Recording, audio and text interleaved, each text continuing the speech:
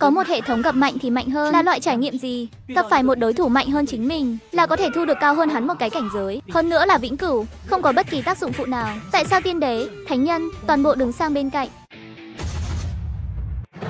Ba vị mạnh nhất các người đã bị thua.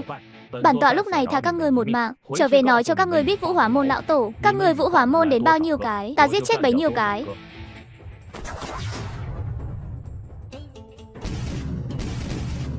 Diệp sư đệ chuyện gì xảy ra?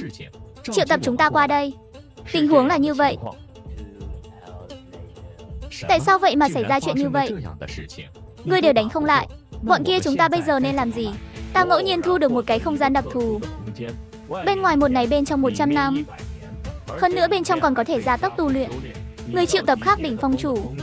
Còn có đệ tử nòng cốt đi vào chung bên trong tu luyện.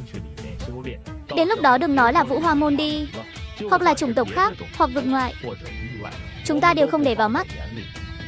Thật tốt chúng ta chợt nghe Diệp sư đệ là Chờ ta một chút ở đây còn có tài nguyên tu luyện. Lúc các người đi vào có thể ở bên trong dùng. Ta cũng không vào. Nếu như chúng ta đều đi vào, Huyền Thiên Tông cũng rắn mất đầu. Vẫn phải là có một người ở nơi này đi. Ngươi không đi sao? Được rồi vậy ta đi triệu tập.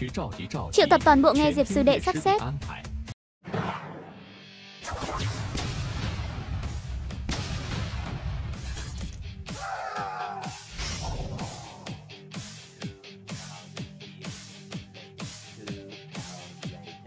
Ở Huyền Thiên Tông, tông chủ dẫn dắt đệ tử nòng cốt và còn lại phong chủ đi vào Diệp Quân Lâm là không gian đặc thù.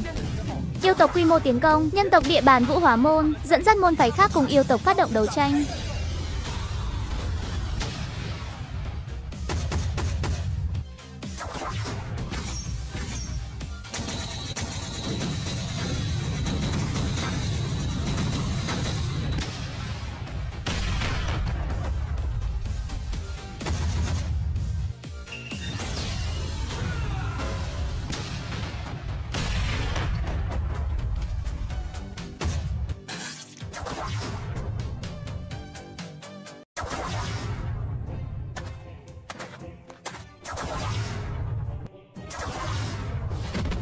Đã xảy ra chuyện gì? Báo cáo yêu tộc xâm chiếm. vũ Hóa Môn gửi lệnh cường giả lệnh triệu tập, triệu tập thiên hạ cường giả cộng đồng chống đỡ yêu tộc xâm chiếm.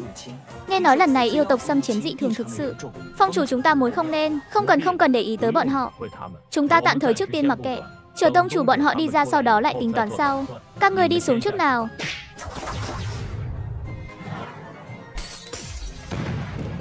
Tu tiên thánh địa, đệ nhất thiên hạ tông môn Vũ Hóa môn, để cho ta xem một chút các người rốt cuộc có bao nhiêu thiếu thực lực, để cho chúng ta mỏi mắt mong chờ nào.